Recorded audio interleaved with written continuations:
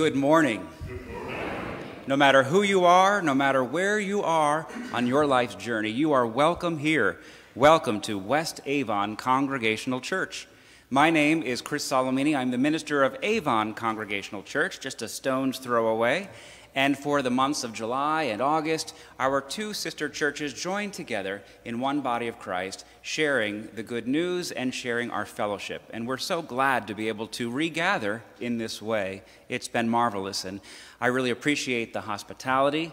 Uh, and I know so does the congregation members of Avon Congregation. And we hope when we move our party over to uh, the other side of 44 that many of West Avon Congregational Church members will join us there uh, starting next Sunday. Pastor Brian will be leading worship. It is a communion Sunday, and for those next five weeks uh, in the month of August, Pastor Brian will lead worship. Same time, just a different location. I want to let you also know um, that um, if you have any announcements that you need to uh, share, uh, I'm sure, I think Kathy will not be putting together the bulletin for next month. That will be Lisa in, in the office here. So that will be the connection for important information.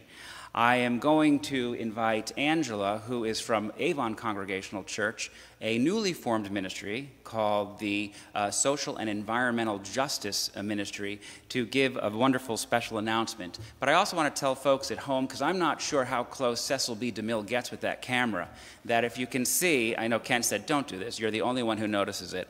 But I had a fight with my dermatologist with the freezer can, and he won. So you might see a little bit of marks. I am fine. It wasn't a cat fight, but that's what that's all about if you get close with the camera. But uh, we will invite Angela to give the very good news for both our communities and indeed the larger Farmington Valley Association community.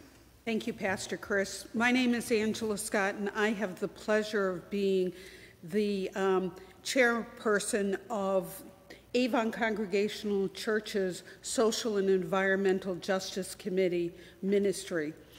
Um, and we've been involved with various uh, organizations, various efforts to try to educate ourselves and others about issues that really address what we all go through in our day to day life, be it racial issues, environmental issues, human trafficking is our next category we'll be doing, and one of the things that we decided to get involved in is after seeing some of the, for lack of a better term, politics and social issues play out and how it impacts and causes rifts in communities, we applied for the Hartford uh, Foundation's grant that they are doing for some of the suburban communities to try to help communities.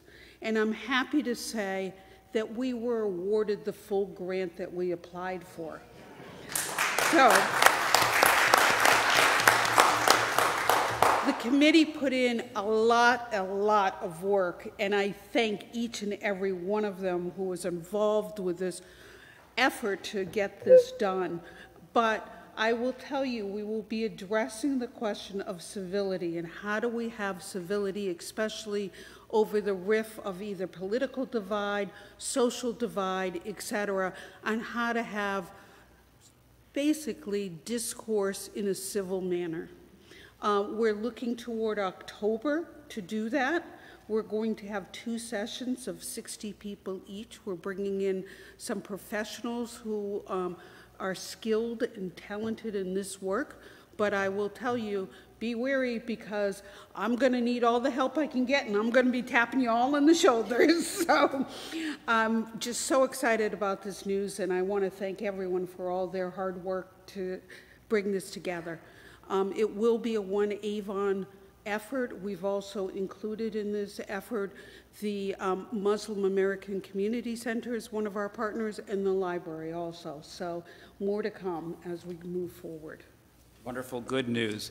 It's about building bridges as opposed to staying siloed, right? And if we can model that in our communities of West Avon and Avon Congregational Church, perhaps those ripples can, can spread out in the Farmington Valley, uh, into Connecticut and beyond. So we are excited that you're all going to partner with us on this important effort. We are the body of Christ, as I mentioned earlier today. That'll mean you'll have an opportunity to share both your joys and your concerns in the prayers of the people. And we'll have opportunity for fellowship uh, following this worship service in the uh, fellowship hall. I'm not sure if the rain will keep us off the patio, but if it's not raining at that point, that usually is open as well. During our sharing of the peace, we ask that folks uh, try and do that what they can to be kind and cordial to each other, but people are at different levels in terms of connection, so we'll honor that as well. Are there other announcements from either congregation that need to be raised before we begin our worship? Yes, Dave.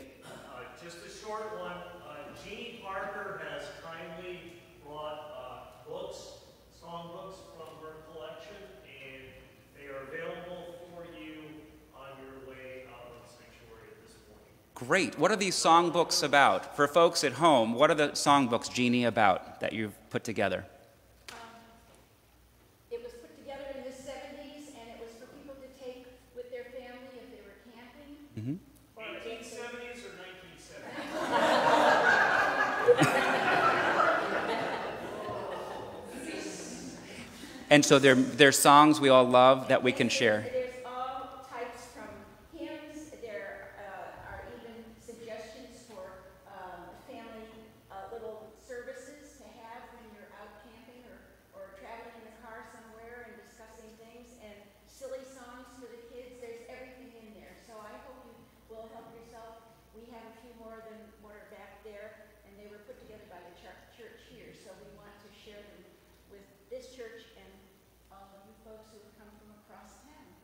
Thank you very much, Jeannie, for your efforts. We all love music. You'll find music is a big part of today's worship.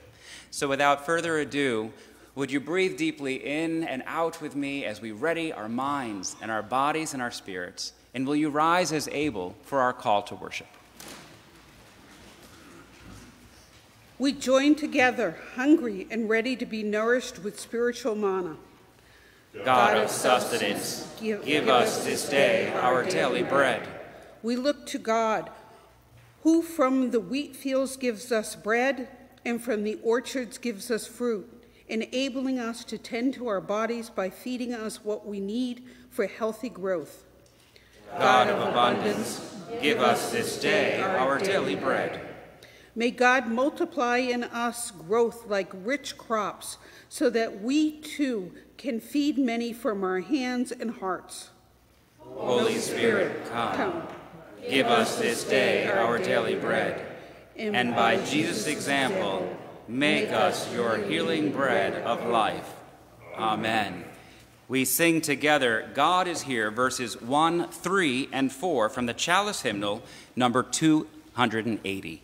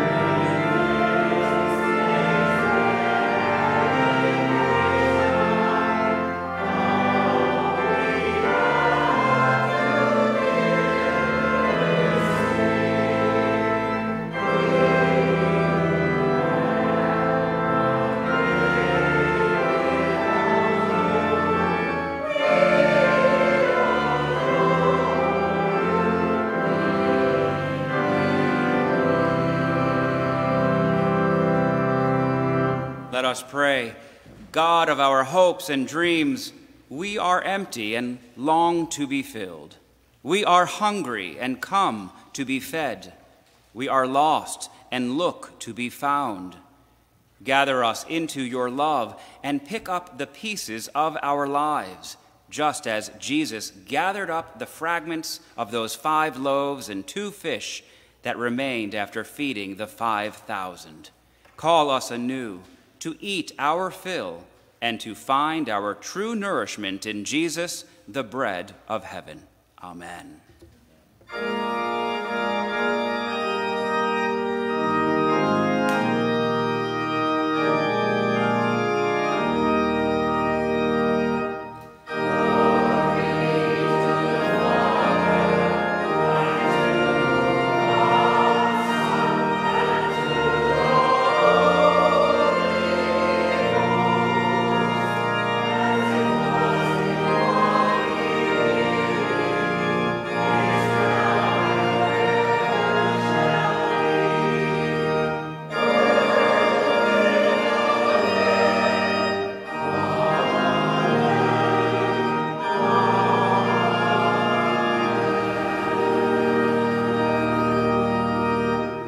Be seated. Recognizing that we are apart from God from time to time, which means apart from our best selves and apart from what the true nature of love is in our lives, we have this opportunity to recognize that. Won't you join me for the unison prayer of confession and restoration as printed in your bulletins? Great provider, we recognize that widespread hunger is no longer necessary. You have given us, humans, the resources to feed all people, yet we citizens of your world are selfish. While we overfill our bellies with food and lay to waste the spaces needed for crops to flourish, others are crying out for crumbs from our tables. Living God, cultivate within our heart reckless generosity and plant within us spirits of simplicity and balance in body and soul.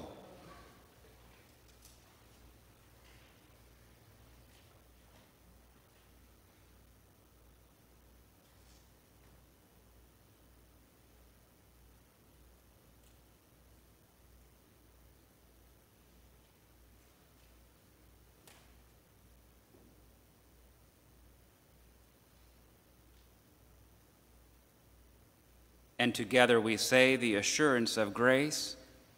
Though at times we fail to be generous, your generosity toward us is never ending. By sending Christ and the Spirit to your people, you have extended abundance beyond measure. May we do the same, ever grateful, ever loved, and ever known by you. Amen. God shares Christ's peace within us for us to claim. Christ modeled peace among us for us to share. Let us greet one another with the peace of Christ. May God be with you.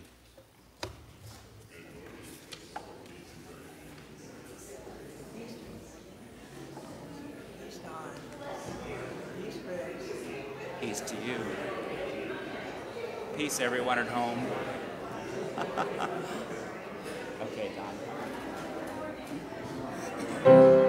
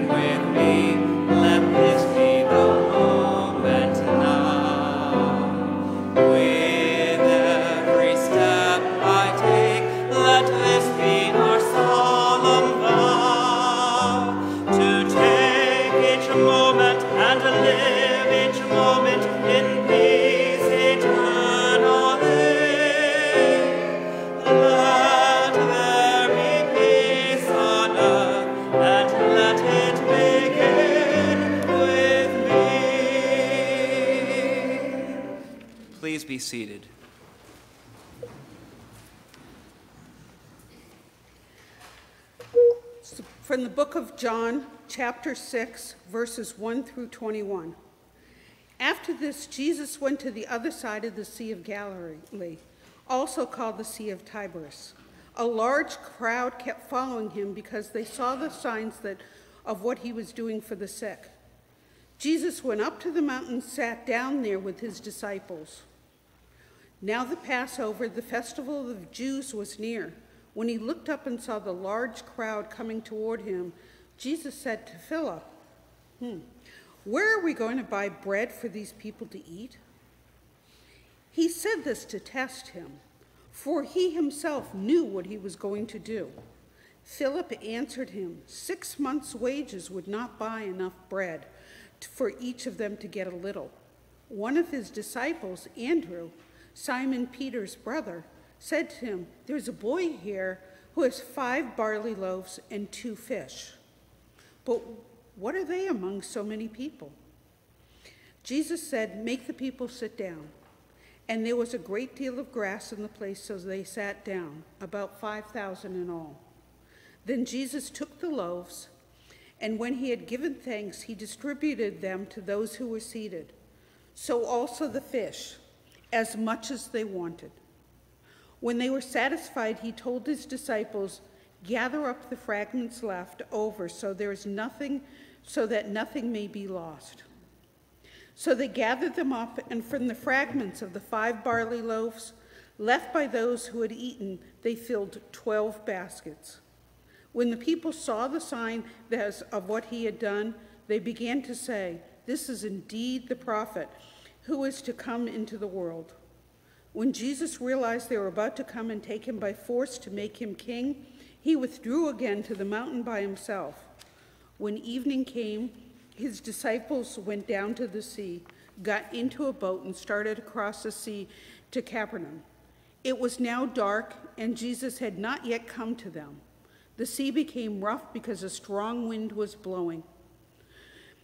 When they had rowed about three or four miles, they saw Jesus walking on the sea and coming near the boat, and they were terrified. But he said to them, It is I, do not be afraid. Then they wanted to take him into the boat, and immediately the boat reached the land toward which they were going.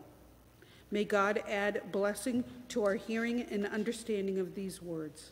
Amen.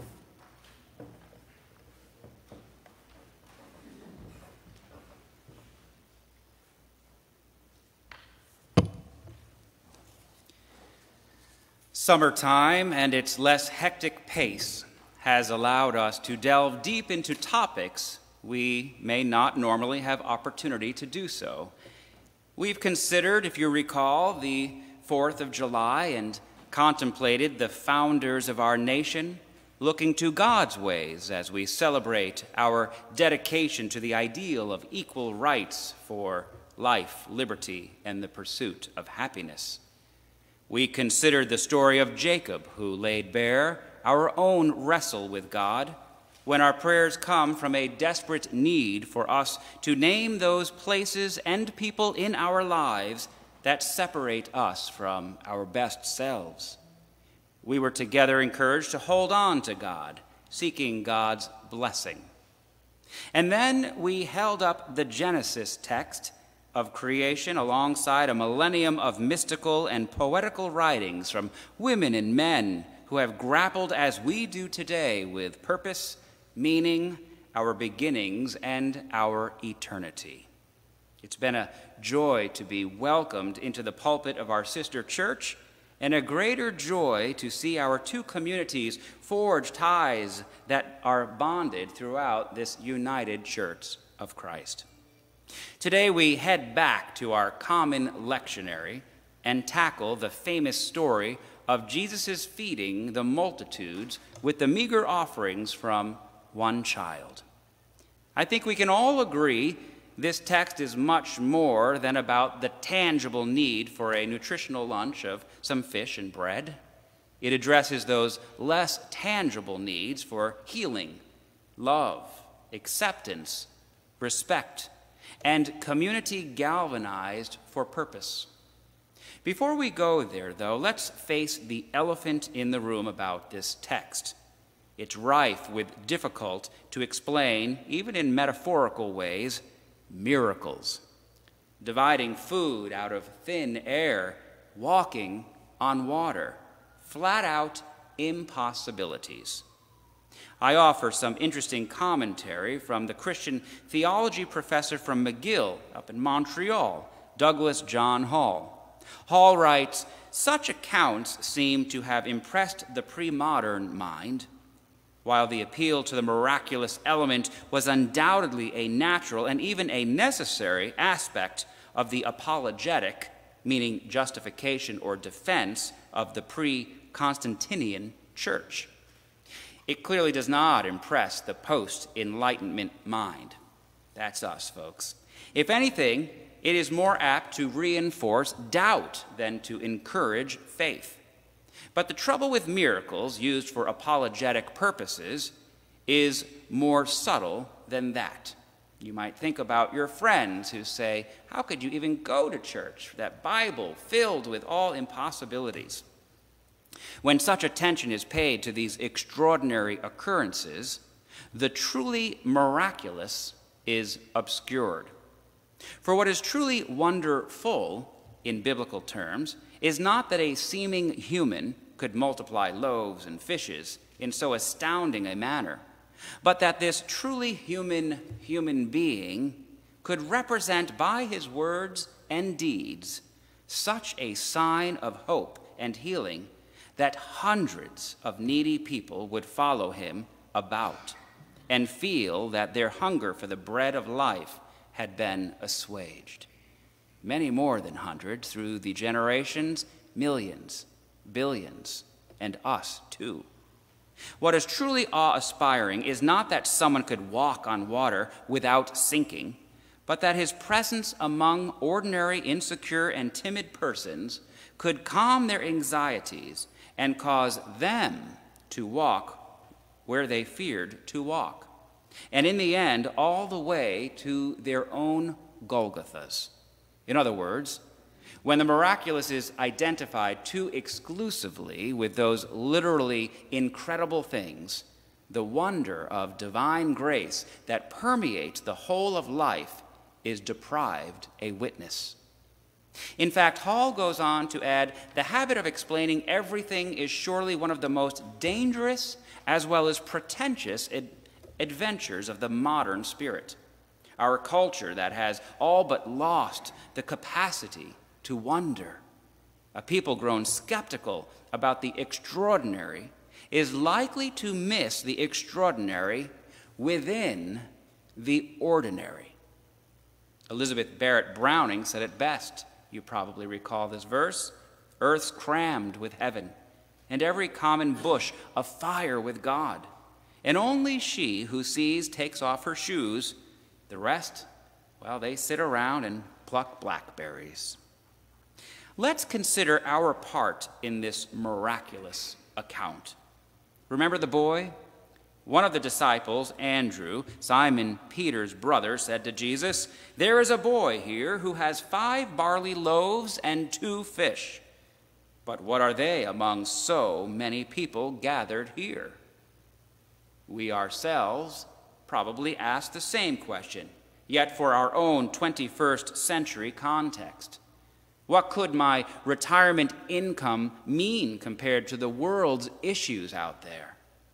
What could my energies, often depleted after work and not as rigorous as when I was younger, do to feed, clothe, house, counsel, love, hold all in need? What do we have? Indeed.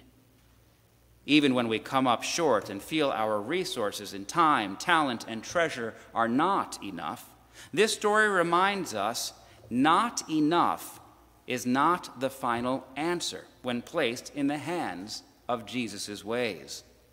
Our human weakness can and does measure up to not only fill the storehouses, but overflow them. In 1946, when Agnes Gonxha Bojaxhiu, better known to us as Mother Teresa, came face to face with the masses of suffering and dying in Calcutta. She experienced what she called the call within a call, namely to serve those suffering the very most. Certainly, her knowledge or her wealth or her wisdom would not be enough to fulfill a calling to the poorest of the earth. Yet, love's knowledge fueled the passion of her call. And with that passion, she began the Missionaries of Charity, a small order of just 13 members at the time. In ensuing decades, the order grew to thousands of members, giving care in many orphanages and charity centers. I got that information from Pastor Cheryl Bridges Johns, who wrote about how our not enough, when put in Jesus' hands, can multiply love in miraculous ways. Pastor Bridges did not just use this beloved Mother Teresa's example, she also shared this. In 1976, when Millard and Linda Fuller began Habitat for Humanity International, there were few resources and a great need for affordable and decent housing for the working poor. With a few tools and a small group of volunteers, it would have been easy to ask, What are these five barley loaves and two fish going to do when the need is just so great? Today, as you know, Habitat for Humanity serves as a clear testimony to the multiplying power of love when it's centered in a ministry for good, for God. All around us are people, and even our very selves, who have knowledge of human needs. But our resources are limited. What we have feels like, well, a, a drop in a bucket. Yet, as this passage so vividly portrays, in the hands of Jesus, little can become much. The few can become the many and the weak can become the strong. So let us not be deterred. Important to note, too, is that the multitude of many, the 5,000, were not the I have it all together and I don't need anyone or anything people. No, these folks were like you and me. Some had real needs, some had questions. All of them needed Jesus' healing nourishment. Recall from Scripture, quote, the large crowd kept following him because they saw the signs he was doing for the sick. Most every week, we pray for the sick in mind, body, and spirit. Jesus' healing is what feeds even us. The story gives us permission to acknowledge our own hunger in order that we too are counted among the multitudes fed by Christ. And if we're honest, we're bound to find ourselves hungry for spiritual nourishment, needing Christ's food as we gather. As Sara Miles wrote in her spiritual memoir, Take This Bread, each of us at some point might have been rejected for being too something, too young, too poor, too queer, too old, too crazy, or difficult, or sick in one way or another, cracked, broken, not right. But gathered around the table and doing the work of Jesus' ministry together, we become right together, converted into the cornerstone of something God is building in us and in the world. It's right in the text. Remember this? The Passover, the festival of the Jews, was near. Remember when Angela said that? Well, this great feast foreshadowed another Passover that we know as the Easter story. It foreshadowed every generation that has ever shared communion also in remembrance of Jesus and his ways of compassion and forgiveness, even you and me. Do you remember after the feast was shared and all were fed and satisfied? Jesus said, Gather up the fragments left over so that nothing may be lost. Do you recall how many baskets were filled with all the abundance of sharing? How many were left? Twelve.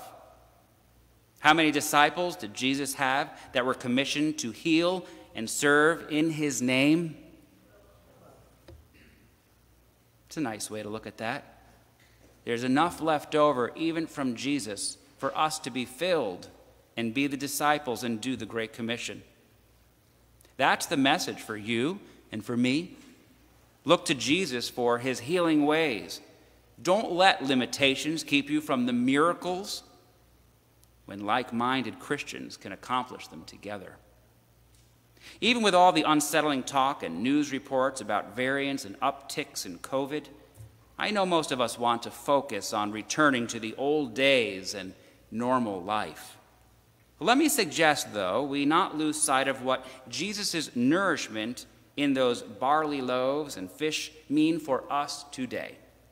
And here's our challenge. As Quaker Action Joyce Ajlouny points out, the old days were not normal for many of us. It should not be normal that some people live with money to burn while others struggle to find food and housing. It should not be normal that the color of your skin or your place of birth plays a strong determining role in your health, job opportunities, and how you are treated by society. It should not be normal that our governments have unlimited resources for weapons and few for public health and education. It should not be normal that millions of people around the world are displaced from their homes by violence, and it cannot be normal to live in a way that makes our planet uninhabitable. The one in whose name we gather today, Jesus the Christ, offers us his ways as the bread of life. One bread, one body that's what we're called to be. We're no longer Gentile or Jew, servant or free, woman or man. We are one body in this one Lord, fed to feed. Amen.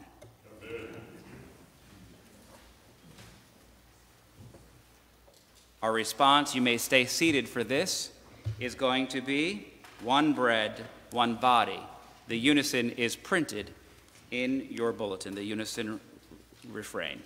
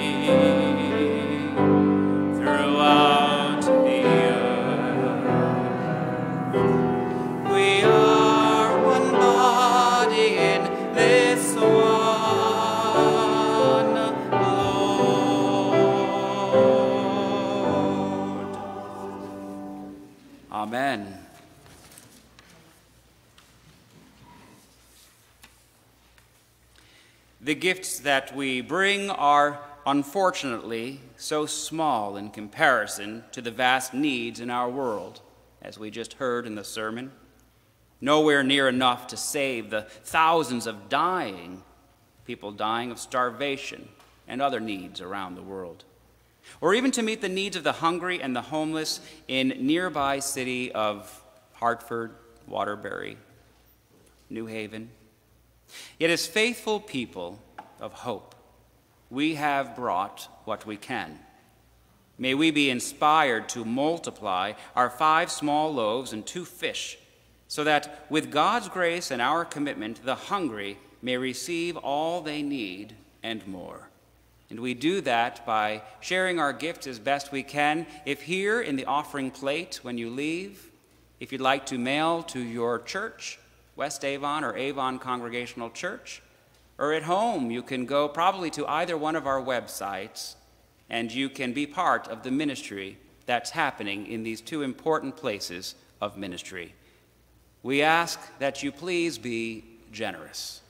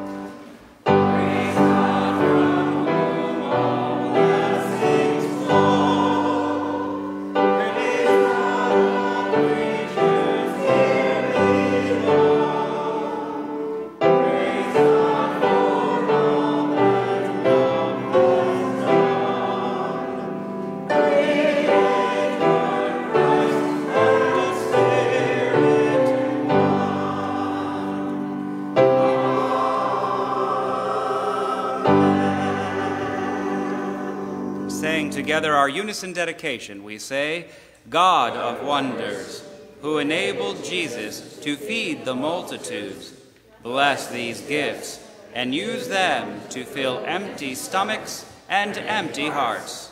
May our offerings be multiplied to abundantly nourish all the people. Amen. Please be seated. This is that opportunity I mentioned at the beginning of our service for us to share both our joys and our concerns. If a health or medical issue, we ask that we use first names because we are recording. What joys or concerns would people of the congregation like to raise today? Angela? A joy. It's a good thing.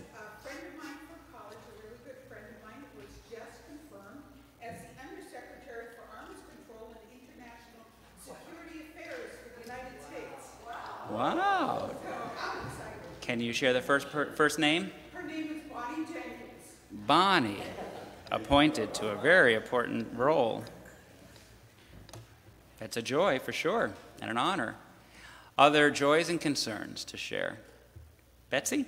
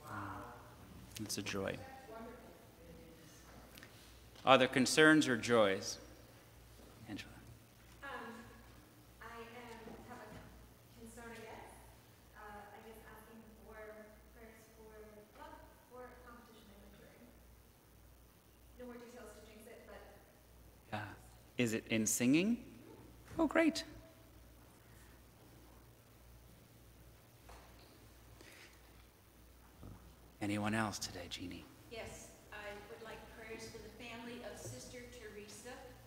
She passed yesterday.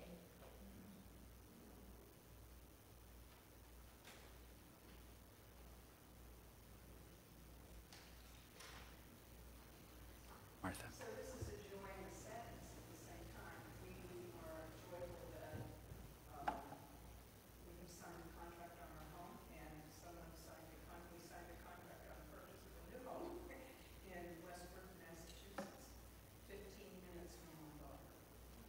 And sadness in our grandchildren, well, two of our three grandchildren, and uh, sadness that we will be leaving dear friends here. And I'm going to cry, I say it. It is a joy and a sadness for sure. Yes.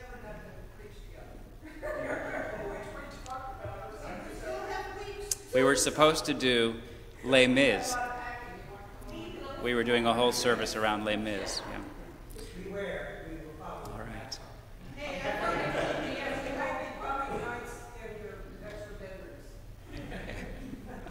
Other joys or concerns before we pray? Let us be in a moment of prayer.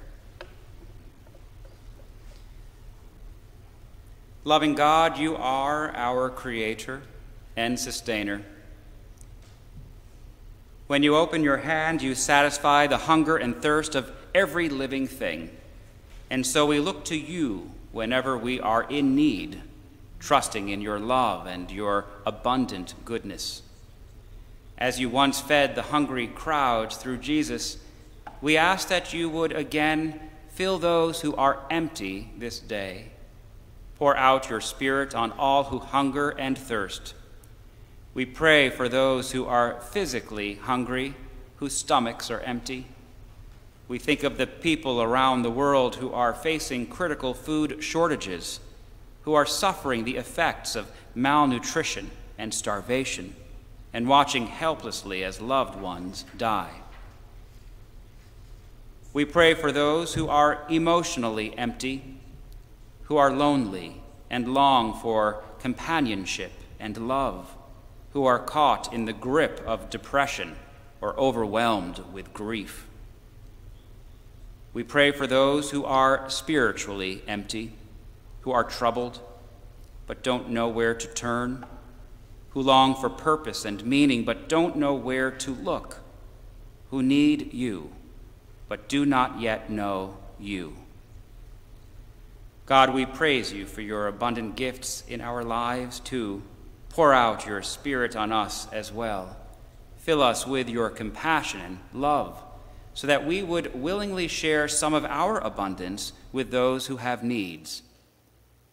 And hearing now the prayers raised in community, we pray for Matt, son in law to the Crothers who was called to fight the devastating fires in California, for all who are affected by those fires.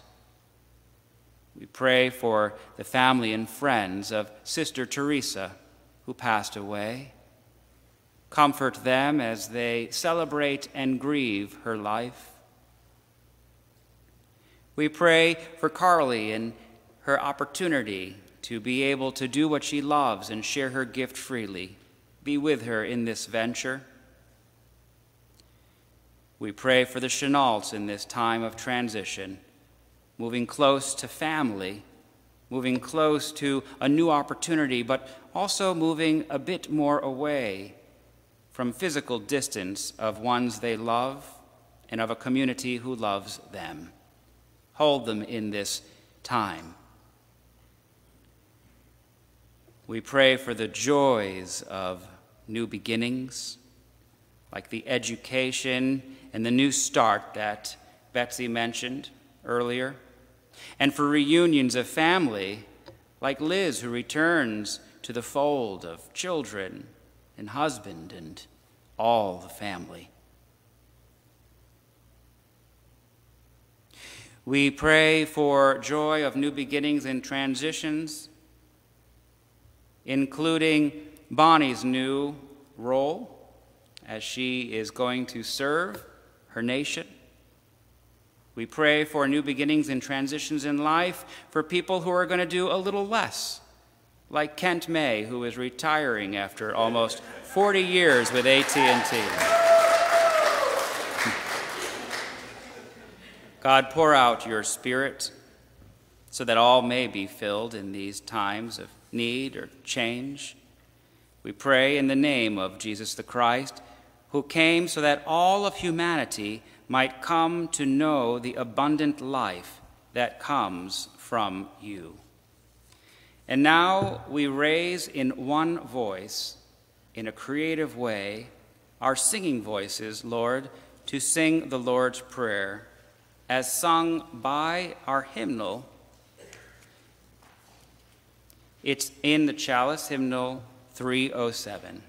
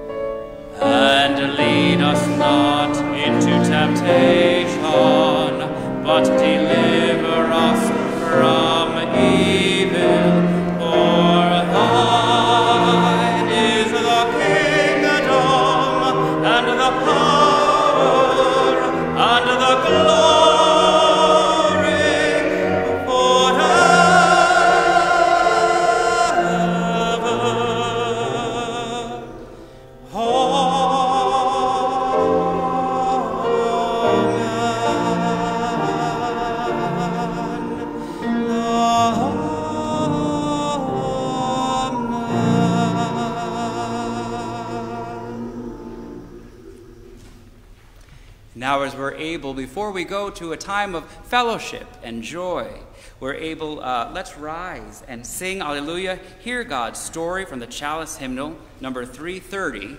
And as you may recall, the postlude, we're going to try and keep a dull roar so it can be recorded. And the title of this, I have this written and I want to share it, is not what's in the bulletin. But for those folks at home and here, the postlude's on piano. It's I Sing the Mighty Power of God. But first, we sing the mighty power of God from the Chalice Hymnal 330. Please rise as able in mind and body.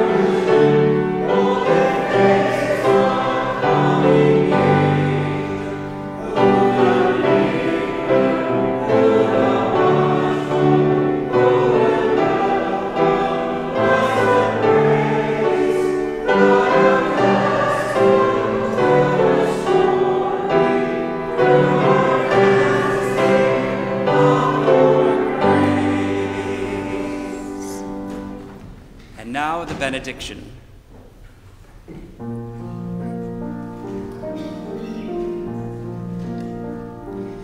May the road rise up to meet you. May the wind be always at your back.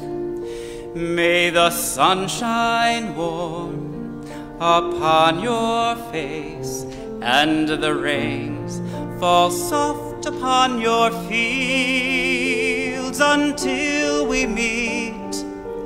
until we meet again. May God hold you in the palm